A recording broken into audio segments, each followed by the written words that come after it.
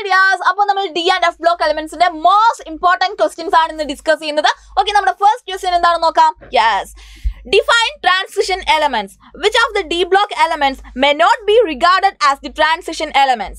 Why transition metal generally form colored compounds? Okay so എന്താണ് transition elements ഒരു എലമെന്റിന്റെ ground state എടുത്താലും അതായത് ട്രാൻസിഷൻ എലമെന്റിന്റെ ഗ്രൗണ്ട് സ്റ്റേറ്റ് എടുത്താലും അതിന്റെ ഓക്സിഡേഷൻ സ്റ്റേറ്റ് എടുത്താലും ഇൻകംപ്ലീറ്റ്ലി ഫിൽഡ് ഡി ഓർബിറ്റൽ വേണം. അങ്ങനെയാണെങ്കിൽ എന്താ? അത് ട്രാൻസിഷൻ എലമെന്റ് ആണ്. ഓക്കെ സിങ്ക് കാഡ്മിയം മെർക്കുറി എന്തല്ല? ട്രാൻസിഷൻ എലമെന്റ് അല്ല. കാരണം സിങ്കിനും കാഡ്മിയത്തിനും മെർക്കുറിക്കും എന്തുണ്ട്? ഫുള്ളി ഫിൽഡ് കോൺഫിഗറേഷൻ ആണ്. ഡി ടെൻ കോൺഫിഗറേഷൻ ആണ്. ഇനി ഡി ഓർബിറ്റൽസ് എന്താണ്? ഹാഫ് ഫിൽഡ് ആയതുകൊണ്ട് തന്നെ അവിടെ ഡി ഡി ട്രാൻസിഷൻ നടക്കുന്നതുകൊണ്ട് ഡി ബ്ലോക്ക് എലമെന്റ്സ് എന്താണ്? കളേർഡ് ആണ്. Due to d d transition d block elements ഒക്കെ എന്താണ്? കളേർഡ് കോമ്പൗണ്ട്സ് ആണ് തരുന്നത്. Yes a transition metal is defined as one which has incompletely filled incompletely filled d orbital in its ground state or any one of its oxidation state അതാണ് transition metal എന്ന് പറഞ്ഞാൽ. Yes D block എലമെന്റ്സുകളൊക്കെ എന്താണ്? മെറ്റലുകളാണ് ഇനി zinc cadmium mercury zinc cadmium mercury are not regarded as transition metals because fully filled configuration yes d ten configuration ഇനി coloured coloured compounds exhibit ചെയ്യുന്നുണ്ട്. കാരണം എന്താ? ഡി ഡി ട്രാൻസിഷൻ ക്ലിയർ അല്ലേ? Yes ഇനി അടുത്ത question account for the following transition metals form complex compounds ഇനി അടുത്ത question എന്താ? C U plus ion unstable in aqua solution അടുത്ത സബ് ക്വസ്റ്റ്യൻ എന്താണ്? പൊട്ടാസ്യം പെർമാഗ്നേറ്റിന്റെ പ്രിപ്പറേഷൻ ആണ് ചോദിച്ചിട്ടുള്ളത്. യെസ് വളരെ ഇമ്പോർട്ടന്റ് ആണ്. ഓക്കെ അപ്പോൾ എന്തുകൊണ്ടാണ് ട്രാൻസിഷൻ മെറ്റൽസ് കോംപ്ലക്സ് കോമ്പൗണ്ട്സുകൾ ഉണ്ടാക്കുന്നത്. നമ്മൾ ഓൾറെഡി കോർഡിനേഷൻ കോമ്പൗണ്ട്സ് എന്ന ചാപ്റ്ററിൽ ഈ ടോപ്പിക്ക് പഠിച്ചതാണ്. എന്തുകൊണ്ടാണ്? കാരണം യെസ് കാരണം എന്താണ്? Due to due to comparatively smaller size d block എലമെന്റ്സുകളുടെ size എന്താണ്? കമ്പാരിറ്റീവ്ലി ചെറുതാണ് smaller size high ionic charge presence of partially filled d orbitals and ability to show variable oxidation state okay ഈ നാല് പോയിന്റും എഴുതണം. Okay yes ഇത്രയും കാരണങ്ങളാണ് d block elements complex compound ഉണ്ടാക്കാൻ കാരണം. യെസ് ഇനി അടുത്ത ക്വസ്റ്റ്യൻ എന്തായിരുന്നു? C U plus ion is unstable in aqua solution ഇത് നമ്മൾ നമ്മുടെ ക്ലാസ്സിൽ ഓൾറെഡി ഡിസ്കസ് ചെയ്ത ടോപ്പിക്കാണ് ഓക്കെ അപ്പോൾ സി യു പ്ലസ് എന്താണ്? അൺസ്റ്റേബിൾ ആണ്. ഒരു അയോണിന്റെ സ്റ്റെബിലിറ്റി നമ്മൾ അക്വ സൊല്യൂഷനിൽ പറയുമ്പോൾ ഹൈഡ്രേഷൻ എന്താൽപ്പിയുടെ ബേസിലേ പറയാൻ പറ്റുള്ളൂ. ഓക്കെ ഇനി ഹൈഡ്രേഷൻ എന്താൽപ്പി എന്ന് പറഞ്ഞാൽ എന്താ? നമ്മുടെ ഈ അയോണുകൾ വാട്ടറുമായിട്ട് ബോണ്ടിങ്ങിൽ വരുമ്പോൾ പുറത്ത് വിടുന്ന എനർജിയാണ് എന്ത്? ഹൈഡ്രേഷൻ എന്താൽപ്പി എന്ന് പറഞ്ഞാൽ. അപ്പോൾ ഈ കോപ്പർ സി യു പ്ലസ് അയോണിന് ഹൈഡ്രേഷൻ എന്താൽപ്പി എന്താണ്? വളരെ കുറവാണ്. അതുകൊണ്ടാണ് ഇത് അൺസ്റ്റേബിൾ ആവുന്നത്. Hydration enthalpy hydration enthalpy hydration enthalpy കൂടിയാൽ എന്താ? ഹൈഡ്രേഷൻ എന്താൽപ്പി കൂടിയാൽ സ്റ്റെബിലിറ്റി കൂടും. സ്റ്റെബിലിറ്റി കൂടും. ഓക്കെ ഇനി ഹൈഡ്രേഷൻ എന്താൽപി? അടുത്തൊരു point hydration enthalpy? Enthalpy is directly proportional to charge by size charge by size charge കൂടിയാൽ എന്താണ്? അയോണിന്റെ ചാർജ് കൂടിയാൽ ഹൈഡ്രേഷൻ എന്താൽപി കൂടും. ഓക്കെ യെസ് അപ്പോ സി യു പ്ലസ് അൺസ്റ്റേബിൾ ആണ്. പക്ഷെ സി യു ടു പ്ലസ് എന്താണ്? സ്റ്റേബിൾ ആണ്. C U two plus ion എന്താണ്? അത് അക്വ സൊല്യൂഷനിൽ സ്റ്റേബിൾ ആണ്. കാരണം സി യു ടു പ്ലസിന് ഹൈഡ്രേഷൻ എന്താൽപ്പി എന്താണ്? കൂടുതലാണ്. ആരെക്കാളും? സി യു പ്ലസ് അയോണിനേക്കാളും ഇനി എന്താ? ചാർജും കൂടുതലല്ലേ? യെസ് ചാർജ് കൂടുമ്പോൾ ഹൈഡ്രേഷൻ എന്താൽപ്പി കൂടും. ഹൈഡ്രേഷൻ എന്താൽപ്പി കൂടുമ്പോൾ സ്റ്റെബിലിറ്റിയും കൂടും. ഓക്കെ അപ്പോൾ എന്താണ് ഇതിന്റെ കാരണം? എന്താണ്? Due to low hydration enthalpy of C U plus ion അപ്പോൾ നമ്മൾ എന്താ എഴുതി കൊടുക്കേണ്ടത്? ഡ്യൂ ടു എന്താണ്? Due to low hydration enthalpy hydration enthalpy okay clear അല്ലേ? യെസ് നമ്മൾ ഡിസ്കസ് ചെയ്ത കാര്യമാണ്. യെസ് ഇനി അടുത്ത ക്വസ്റ്റ്യൻ എന്തായിരുന്നു? പ്രിപ്പറേഷൻ ആണ് അല്ലേ? പൊട്ടാസ്യം പെർമാഗനേറ്റിന്റെ പ്രിപ്പറേഷൻ ആണ്. പൊട്ടാസ്യം പെർമാഗനേറ്റ് ഏത് മെറ്റീരിയലിൽ നിന്നാണ് നമ്മൾ പ്രിപ്പയർ പ്രിപ്പയർ ചെയ്തെടുക്കുന്നത്? സ്റ്റാർട്ടിംഗ് മെറ്റീരിയൽ ഏതാണ്? Pyrolusite ഓറാണ് pyrolusite ore M N O two ഈ എം എൻ ഒ ടുവിൽ നിന്നാണ് നമ്മൾ പൊട്ടാസ്യം പെർമാഗനേറ്റ് പ്രിപ്പയർ ചെയ്തെടുക്കുന്നത്. അത് രണ്ട് സ്റ്റെപ്പാണുള്ളത് രണ്ട് സ്റ്റെപ്പ് വഴി നമുക്ക് പൈറൂലിസൈറ്റ് ഓറിൽ നിന്ന് പൊട്ടാസ്യം പെർമാഗനേറ്റ് പ്രിപ്പയർ ചെയ്തെടുക്കാൻ പറ്റും. ഓക്കെ അപ്പോൾ ആ രണ്ട് സ്റ്റെപ്പ് അങ്ങനെ തന്നെ എഴുതണം. K M N four is commercially prepared from pyrolusite ore വളരെ ഇമ്പോർട്ടന്റ് ആണ് കേട്ടോ. എം സി ക്യു ആയിട്ടൊക്കെ ചോദിക്കും. Yes the preparation involves two step നമ്മൾ പൊട്ടാസ്യം ഡൈക്രോമേറ്റ് പോലെയൊന്നുമല്ല ആകെ രണ്ട് സ്റ്റെപ്പ് മാത്രമേ ഉള്ളൂ. അപ്പോൾ M N O two is fused with K O H to form potassium manganate K two M N O four K two M N O four അപ്പോൾ first step എന്താണ്? നമ്മുടെ pyrolusite ore M N O ടുവിനെ ആരുമായിട്ട് fuse ചെയ്യുക K O H K O H പിന്നെ ഓക്സിജന്റെ പ്രസൻസിൽ എന്ത് ചെയ്യണം? Heat ചെയ്യണം. അപ്പോൾ നമുക്ക് എന്ത് കിട്ടും? പൊട്ടാസ്യം മാഗ്നേറ്റ് കിട്ടും. ഈ പൊട്ടാസ്യം മാഗ്നേറ്റിന് അടുത്ത് എന്താ ചെയ്യേണ്ടത്? ഇലക്ട്രോളിക് ഇലക്ട്രോലിറ്റിക്കലി ഓക്സിഡേഷൻ നടത്തണം. Electrolytically oxidised to give potassium permanganate അപ്പോൾ നമുക്ക് എന്ത് കിട്ടും? പൊട്ടാസ്യം പെർമാഗ്നേറ്റ് കിട്ടും.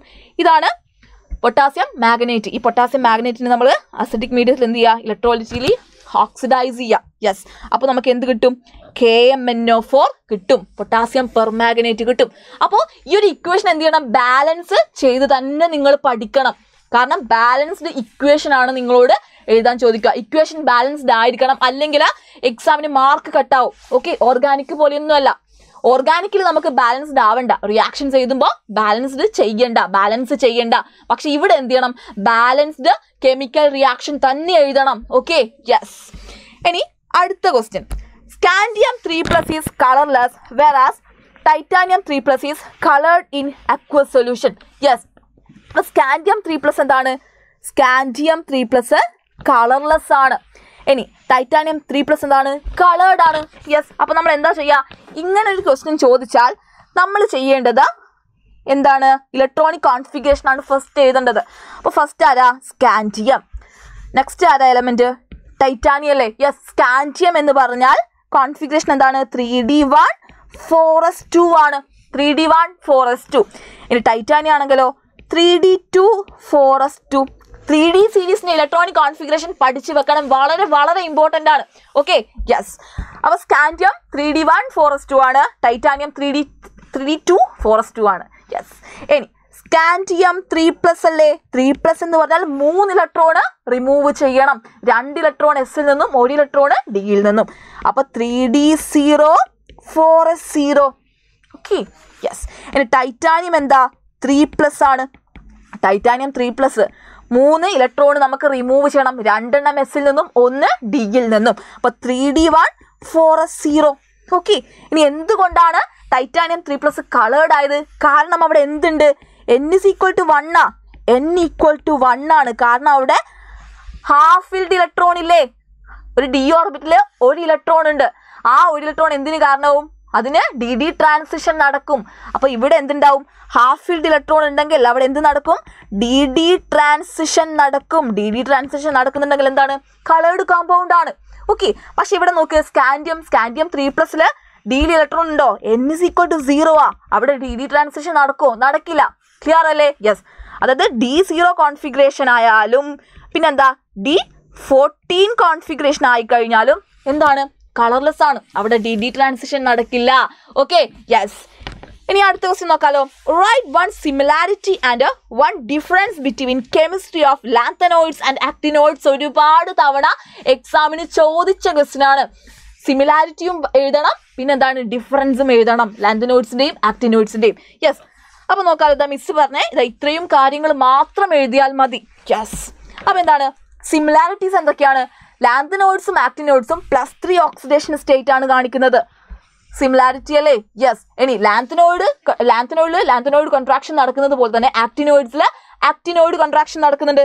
Yes actinoid show actinoid contraction lanthanoid like lanthanoid contraction okay both are electropositive and very reactive രണ്ടുപേരും ഇലക്ട്രോ പോസിറ്റീവ് ആണ് വെരി റിയാക്റ്റീവ് ആണ്.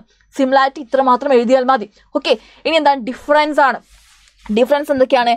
Except promethium lanthanoids are non radioactive except promethium promethium ഒഴികെ ബാക്കി അവരെന്താ non radioactive ആണ് lanthanoids പക്ഷേ actinoids എന്താണ്? Radioactive ആണ്. ആക്ടിനോയിഡ്സ് റേഡിയോ ആക്റ്റീവ് ആണ്. ഇനി അടുത്തത്. Lanthanoids do not form oxo cation lanthanoids എന്താണ്? ഓക്സോ കാറ്റിയോൺസ് ഉണ്ടാക്കുന്നില്ല. പക്ഷേ ആക്ടിനോയിഡ്സ് എന്ത് ഉണ്ടാക്കുന്നുണ്ട്? ഓക്സോ കാറ്റിയോൺ ഉണ്ടാക്കുന്നുണ്ട്. Whereas actinoid form oxo cation ഇനി അടുത്തത്. Lanthanoids have less tendency towards complex formation നമ്മുടെ ലാന്തനോയിഡ്സ് എന്താണ്? കോംപ്ലക്സ് ഫോർമേഷൻ അങ്ങനെ ഉണ്ടാക്കുന്നില്ല. ടെൻഡൻസി കുറവാണ്. Lanthanoids have less tendency towards complex formation whereas actinoids have greater tendency towards complex formation ആക്ടിനോഡ്സിന് പക്ഷേ complex form ചെയ്യാൻ നല്ല ടെൻഡൻസി ഉണ്ട്. ഓക്കെ ഇത്രയാണ് നിങ്ങൾ സിമിലാരിറ്റിയും ഡിഫറൻസും എഴുതേണ്ടത്. ഓക്കെ വെരി വെരി ഇമ്പോർട്ടന്റ് ആണ്. യെസ് ഇനി അടുത്ത question what is lanthanoid contraction write two consequence of lanthanoid contraction എന്താണ് ലാന്തിനോഡ് കൺട്രാക്ഷൻ ക്വസ്റ്റ്യൻ പേപ്പർ ഇടുന്ന എല്ലാവരും എന്ത് ചെയ്യും? ഈ ക്വസ്റ്റ്യൻ എന്തായാലും ഇടും. കാരണം വളരെ വളരെ ഇമ്പോർട്ടന്റ് ആണിത്. എന്താണ് ലാന്തനോയിഡ് കൺട്രാക്ഷൻ നമ്മുടെ എഫ് ബ്ലോക്ക് എലമെന്റ്സിലെ ഏറ്റവും ഇമ്പോർട്ടന്റ് ആയിട്ടുള്ള ഒരു ടോപ്പിക് ഇത് ഓക്കെ യെസ് എന്താണ് ലാന്തനോയിഡ് കൺട്രാക്ഷൻ റെഗുലർ ഡിക്രീസിങ് അല്ലെ? Regular decreasing of atomic size ആണ് അല്ലെ? ലാന്തനോയിഡ്സിൽ regular decreasing of atomic size ആണ്. നോക്ക്. This regular decreasing atomic and ionic radii along lanthanide series is called a lanthanoid contraction ഇതിനെയാണ് എന്ത് വിളിക്കുന്നത്? Lanthanoid contraction ഇനി ഇതിന്റെ റീസൺ എന്താണ്? റീസൺ എന്താണ്? In lanthanides the atomic number increases the nuclear charge increases one by one okay atom എന്താണ്? Atomic number കൂടുമ്പോൾ nuclear charge കൂടും. നമ്മൾ പഠിച്ചിട്ടുള്ള കാര്യമാണ്. Yes and electrons are added to the antepenultimate f subshell antepenultimate f സബ്ഷലാണ് electrons ഇങ്ങനെ add ചെയ്യുന്നത്. അപ്പോൾ എന്ത് ചെയ്യും? ന്യൂക്ലിയർ ചാർജ് ഇങ്ങനെ കൂടും. ക്ലിയർ അല്ലേ? യെസ് അത് മാത്രമല്ല കാരണം നമ്മുടെ F subshell antepenultimate F subshell ആ എഫ് സബ്ഷലിന്റെ ഷേപ്പ് എന്താണ്? ഡിഫ്യൂസ്ഡ് ഷേപ്പാണ് ഡിഫ്യൂസ്ഡ് ഷേപ്പാണ് അതിന് ഷീൽഡിങ് എഫക്റ്റ് വളരെ കുറവാണ്. പുവർ ഷീൽഡിങ് എഫക്റ്റ് ആണ്. അതുകൊണ്ട് തന്നെ ഈ ന്യൂക്ലിയസിന് എന്ത് ചെയ്യാൻ പറ്റും? ആ ഇലക്ട്രോൺസിനെ ഇങ്ങനെ പിടിച്ച് വലിക്കാൻ പറ്റും. അതുകൊണ്ടാണ് എന്ത്? റെഗുലർ ആയിട്ട് സൈസ് ഇങ്ങനെ എന്ത് ചെയ്യുന്നത്? ഡിക്രീസ് ചെയ്യുന്നത്.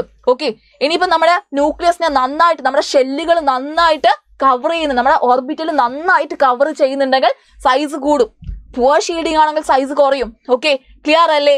Yes any okay yes yes yes reason okay yes reason ചോദിച്ചിട്ടില്ല കേട്ടോ. റീസൺ അല്ല കോൺസിക്വൻസ് ആണ് നമ്മളോട് ചോദിച്ചത്. ഓക്കെ നമ്മൾ റീസൺ ആണല്ലേ പറഞ്ഞത്? യെസ് കുഴപ്പമില്ല. റീസൺ ഇതാ ഈ ഒരു ക്വസ്റ്റിനോട് റീസണും കൂടി മിസ് ചോദി ചോദിക്കുന്നുണ്ട് കേട്ടോ. റീസൺ പറയണം. എക്സ്ട്രാ ആഡ് ചെയ്യാൻ പോവാണ് കേട്ടോ. റീസൺ റൈറ്റ് ദ റീസൺ അത് പിന്നെന്താ? Write two consequence of lanthanoid contraction lanthanoid കോൺട്രാക്ഷന്റെ consequence എന്താണ്? കോൺസിക്വൻസ് സെക്കൻഡ് ട്രാൻസിഷൻ സീരീസിന്റെയും തേർഡ് ട്രാൻസിഷൻ സീരീസിന്റെയും ആറ്റത്തിന്റെ അറ്റോമിക് സൈസ് എന്താണ്? ഓൾമോസ്റ്റ് സിമിലർ ആണ്. Atomic size atomic size almost similar ആണ്. ക്വൈറ്റ് സിമിലർ ആണ്. ഓക്കെ യെസ് അത് ലാന്തനോഡ് കോൺട്രാക്ഷന്റെ ഒരു കോൺസിക്വൻസ് ആണ്. ഇനി അടുത്ത കോൺസിക്വൻസ് എന്താ? ഇവരുടെ സൈസ് ഒക്കെ ഓൾമോസ്റ്റ് സിമിലർ അല്ലേ? ഫസ്റ്റ് കോൺസിക്വൻസ് ഇതാണ്. സെക്കൻഡ് കോൺസിക്വൻസ് ഇത് പറഞ്ഞുതരാം. യെസ് അപ്പോൾ ഇവരുടെ ലാന്തനോഡ്സിന്റെ ഒക്കെ സൈസ് എന്താണ്? ഓൾമോസ്റ്റ് സിമിലർ ആണ്. അതുകൊണ്ട് തന്നെ ഇവരെ സെപ്പറേറ്റ് ചെയ്യാൻ ഭയങ്കര ഡിഫിക്കൽട്ട് ആണ്. ഓക്കെ സൈസ് സൈസ് സിമിലർ ആയതുകൊണ്ട് സിമിലർ ആയതുകൊണ്ട് separation is difficult separation is difficult okay separation is difficult അതായത് സിർക്കോണിയം ഹഫ്നിയും നമ്മൾ കുഴിച്ചെടുക്കാൻ പോവാണ്. അപ്പോൾ കുഴിച്ചെടുക്കുമ്പോൾ നമുക്ക് സിർക്കോണിയം ഹഫ്നിയും ഒരുമിച്ച് കിട്ടും. ഇതിനെ സെപ്പറേറ്റ് ചെയ്യാൻ പറ്റില്ല. കാരണം ഇതിന് ഓൾമോസ്റ്റ് സൈസ് ഒക്കെ എന്താണ്? സെയിം ആണ്. ഫിസിക്കൽ പ്രോപ്പർട്ടി ഒക്കെ എന്താണ്? സെയിം ആണ്. ക്ലിയർ അല്ലേ? യെസ് അപ്പോൾ അടുത്ത question account for the following transition metals have higher enthalpy of atomisation ഇത് നമ്മൾ നമ്മുടെ ക്ലാസ്സിൽ ഡിസ്കസ് ചെയ്തതാണ്. ട്രാൻസിഷൻ എലമെന്റ്സിന് എൻഡാൽപി ഓഫ് അറ്റോമൈസേഷൻ എന്താണ്? ഹൈ ആണ്. യെസ് അടുത്ത ക്വസ്റ്റൻ എന്താണ്? Separation of of a mixture of lanthanoids element is difficult lanthanoids എലമെന്റ്സിനെ എന്താണ് സെപ്പറേറ്റ് ചെയ്യാൻ ഭയങ്കര ഡിഫിക്കൽട്ട് ആണ്. നമ്മൾ തൊട്ട് മുൻപ് പറഞ്ഞ കാര്യമാണ്. ഇനി കോപ്പറിന് എന്താണ്? പോസിറ്റീവ് ആണ്. എന്ത്? ഇലക്ട്രോഡ് പൊട്ടൻഷ്യൽ ഓക്കെ സോ ഇതിന്റെയൊക്കെ റീസൺ നമ്മൾ അറിഞ്ഞിരിക്കണം. എന്താൽപ്പി ഓഫ് അറ്റോമൈസേഷൻ എന്താണ്? നമ്മൾ പഠിച്ച കാര്യമല്ലേ എന്തുകൊണ്ടാണ് due to the presence of unpaired electrons unpaired electrons ഉള്ളത് കൊണ്ട് തന്നെ they have strong interatomic interaction strong interatomic interaction ഉണ്ടാവും. അതുകൊണ്ട് തന്നെ എന്താൽപി ഓഫ് അറ്റോമൈസേഷൻ എന്താണ്? ഹൈ ആണ്. ഓക്കെ എന്താണ് എന്താൽപി ഓഫ് അറ്റോമൈസേഷൻ എന്നൊക്കെ നമ്മൾ ഓൾറെഡി ഡിസ്കസ് ചെയ്ത കാര്യമാണ്. യെസ് ഇനി അതായത് ലാന്തനോഡ്സിനെ സെപ്പറേറ്റ് ചെയ്യാൻ എന്താണ്? ഡിഫിക്കൽട്ട് ആണ്. Because due to lanthanoid contraction lanthanoids have similar radii and hand similar physical properties so their isolation is difficult ഇത് ലാന്തനോയിഡ് കോൺട്രാക്ഷന്റെ ഒരു കോൺസിക്വൻസ് ആണ്. നമ്മൾ തൊട്ട് മുൻപ് പറഞ്ഞാണ് ലാന്തനോയിഡ് കോൺട്രാക്ഷന്റെ ഒരു കോൺസിക്വൻസ് ആണ്. ക്ലിയർ അല്ലേ? ഇനി കോപ്പറിന് പോസിറ്റീവ് ആണ് ഇലക്ട്രോഡ് പൊട്ടൻഷ്യൽ എന്തുകൊണ്ടാണ് കാരണം the high energy to form energy to transform copper to copper two plus is not balanced by its hydration enthalpy നമ്മൾ ഡിസ്കസ് ചെയ്തതാണ്. നമുക്ക് കോപ്പറിനെ കോപ്പർ ടു പ്ലസ് ആക്കി മാറ്റാൻ എന്ത് വേണം? എനർജി വേണം. ആ എനർജിയല്ലേ നമ്മൾ കൊടുക്കുന്നത്. ആ നമ്മൾ കൊടുക്കുന്ന എനർജി ഹൈഡ്രേഷൻ എന്താൽപിയുടെ രൂപത്തിൽ നമുക്ക് തിരിച്ച് കിട്ടുന്നുണ്ട്. പക്ഷേ കോപ്പറിന്റെ കേസിൽ നമ്മൾ എത്ര എനർജി കൊടുത്തിട്ടുണ്ടോ അത്രയും എനർജി ഹൈഡ്രേഷൻ എന്താൽപിയുടെ രൂപത്തിൽ നമുക്ക് കിട്ടുന്നില്ല. ഓക്കെ അത് ബാലൻസ് ചെയ്യുന്നില്ല. കൊടുത്ത എനർജി ഹൈഡ്രേഷൻ എന്താൽപിയുടെ രൂപത്തിൽ നമുക്ക് എന്ത് കിട്ടില്ല? ടോട്ടൽ ഫുൾ ആയിട്ടും തിരിച്ചു കിട്ടുന്നില്ല. അത് ബാലൻസ്ഡ് ആവുന്നില്ല. അതുകൊണ്ടാണ് കോപ്പറിന് പോസിറ്റീവ് ഇലക്ട്രോഡ് പൊട്ടൻഷ്യൽ ക്ലിയർ അല്ലേ? യെസ് അടുത്ത question zinc cadmium mercury are not are non transition elements എന്തുകൊണ്ടാ? നമ്മൾ ഡിസ്കസ് ചെയ്തതാണ്. ബിക്കോസ് ഡി ടെൻ കോൺഫിഗറേഷൻ അല്ലേ? ഫുള്ളി ഫീൽഡ് കോൺഫിഗറേഷൻ ആണ്. In is ground state and excited state yes zirconium and hafnium are almost identical atomic radii due to lanthanoid contraction on L C എന്നാണ് എഴുതുന്നത്. Yes അടുത്ത question write the preparation of sorry write the preparation of sodium dichromate from chromite ore potassium ഡൈക്രോമേറ്റിന്റെ preparation ആണ്. ആ പ്രിപ്പറേഷനിലുള്ള രണ്ടാമത്തെ സ്റ്റെപ്പാണ് ചോദിച്ചിട്ടുള്ളത്. Okay അപ്പൊ നമുക്ക് ദാ ഇവിടെ വേണമെങ്കിൽ എന്ത് ചോദിക്കാം? K two C R two O seven എന്നും ചോദിക്കാം. ഓക്കെ സോഡിയം ഡൈക്രോമേറ്റ് ഉണ്ടാക്കി എടുക്കാനും ചോദിക്കാം. അല്ലെങ്കിൽ എന്ത് ചോദിക്കാം? പൊട്ടാസ്യം പെർമാഗ്നേറ്റ് ഈ പൊട്ടാസ്യം പെർമാഗ്നേറ്റ് പ്രിപ്പയർ ചെയ്താൽ ചോദിച്ചാൽ മൂന്ന് സ്റ്റെപ്പ് എഴുതിയാൽ മതി. ഇവിടെ എന്ത് ചെയ്യണം? ഇതിലാണെങ്കിൽ ത്രീ സ്റ്റെപ്പും നിങ്ങൾ എഴുതണം. ഇനി ഇതുവരെയാ ചോദിച്ചെങ്കിലോ ടു സ്റ്റെപ്പ് എഴുതിയാൽ മതി. ക്ലിയർ അല്ലേ? യെസ് അപ്പോൾ സോഡിയം ഡൈക്രോമേറ്റ് ആണ് നമുക്ക് പ്രിപ്പയർ ചെയ്തെടുക്കേണ്ടത് ക്രോമൈറ്റോറിൽ നിന്ന്. അപ്പോൾ മിസ് മൂന്ന് സ്റ്റെപ്പും പറയുന്നുണ്ട്. അപ്പോൾ നമ്മുടെ സ്റ്റാർട്ടിംഗ് മെറ്റീരിയൽ എന്താ? Potassium dichromate is generally prepared from chromite ore chromite ഓറിൽ നിന്നാണ് നമ്മൾ പൊട്ടാസ്യം ഡൈക്രോമേറ്റ പ്രിപ്പയർ ചെയ്തെടുക്കുന്നത്. ക്ലിയർ അല്ലേ? Yes F E C R two O four നിങ്ങൾ അതിന്റെ പേര് മാത്രമല്ല ഫോർമുലയും പഠിച്ചു വെക്കണം. വളരെ ഇമ്പോർട്ടന്റ് ആണ്. ഓക്കെ അപ്പോൾ ക്രോമൈറ്റ് ഓറിൽ നിന്ന് പൊട്ടാസ്യം ഡൈക്രോമേറ്റ് ഉണ്ടാക്കിയെടുക്കുന്നത് മൂന്ന് സ്റ്റെപ്പ് വഴിയാണ്.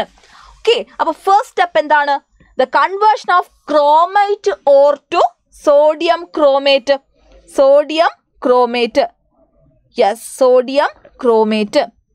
Miss sodium dichromate എന്നാണോ പറഞ്ഞത്? ആ യെസ് സോഡിയം ഡൈക്രോമേറ്റ്. കറക്റ്റ് ആണ്. Sodium dichromate. യെസ് അപ്പോൾ എന്താണ്? ഫസ്റ്റ് നമ്മൾ എന്ത് ചെയ്യുന്നത്? ക്രോമൈറ്റ് ഓറിനെ സോഡിയം ക്രോമേറ്റ് ആക്കി മാറ്റണം. എങ്ങനെയാ സോഡിയം ക്രോമേറ്റ് ആക്കി മാറ്റുന്നത്? ഫസ്റ്റ് സോഡിയം കാർബണേറ്റുമായിട്ട് റിയാക്ട് ചെയ്യുക. ഓക്സിജന്റെ പ്രസൻസിൽ ഹീറ്റ് ചെയ്യുക. അതിനല്ലേ നമ്മൾ റോസ്റ്റിംഗ് എന്ന് പറയുന്നത്? എയറിന്റെ പ്രസൻസിൽ ഹീറ്റ് ചെയ്യുമ്പോൾ. യെസ് ഇപ്പൊ ക്രോമേറ്റ് ഓറിനെ സോഡിയം കാർബണേറ്റിന്റെ പ്രസൻസിൽ ഓക്സിജന്റെ പ്രസൻസിൽ നമ്മൾ എന്ത് ചെയ്യുക? ഹീറ്റ് ചെയ്യുക. അപ്പൊ നമുക്ക് എന്ത് കിട്ടും? സോഡിയം ക്രോമേറ്റ് ഇതൊക്കെ നമ്മൾ ഡീറ്റെയിൽഡ് ആയിട്ട് പഠിച്ച കാര്യമാണ്. യെസ് ഇതാണ് നമ്മുടെ ഫസ്റ്റ് സ്റ്റെപ്പ് സെക്കൻഡ് സ്റ്റെപ്പ് എന്താ? അസിഡിഫിക്കേഷൻ ഓഫ് സോഡിയം ക്രോമേറ്റ് ഈ സോഡിയം ക്രോമേറ്റിൽ എന്ത് ചെയ്യുക നമ്മൾ ആസിഡ് ആഡ് ചെയ്യുക സൾഫ്യൂരിക് ആസിഡ് ആഡ് ചെയ്താൽ മതി. അപ്പോൾ നമുക്ക് എന്ത് കിട്ടും? സോഡിയം ഡൈക്രോമേറ്റ് അപ്പോൾ നമുക്ക് എന്ത് കിട്ടും? സോഡിയം ഡൈക്രോമേറ്റ് അപ്പോൾ സോഡിയം ക്രോമേറ്റിൽ നമ്മൾ സൾഫ്യൂരിക് ആസിഡ് ആഡ് ചെയ്താൽ നമുക്ക് എന്ത് കിട്ടും? സോഡിയം ഡൈക്രോമേറ്റ് ഇതാ ഇതാണ് നമ്മളോട് ക്വസ്റ്റ്യൻ ചോദിച്ചത്. സോഡിയം ഡൈക്രോമേറ്റ് ആണ് ക്വസ്റ്റ്യൻ ഉള്ളതെങ്കിൽ ഇതാ ഈ രണ്ട് സ്റ്റെപ്പ് നമുക്ക് നിർത്താം. ഈ രണ്ട് സ്റ്റെപ്പിൽ നമുക്ക് നിർത്താം. അല്ലെങ്കിൽ സോഡിയം പൊട്ടാസ്യം ഡൈക്രോമേറ്റ് ആണ് ചോദിച്ചതെങ്കിൽ അടുത്ത സ്റ്റെപ്പും കൂടി വേണം കേട്ടോ. എങ്ങനെയാ? Conversion of sodium dichromate potassium dichromate എങ്ങനെയാ? കെ സി എൽ ആഡ് ചെയ്താൽ മതി. കെ സി എൽ ആഡ് ചെയ്യുമ്പോൾ നമുക്ക് പൊട്ടാസ്യം ഡൈക്രോമേറ്റ് കിട്ടും. ഓക്കെ ഇതാണ് മൂന്ന് സ്റ്റെപ്പ്.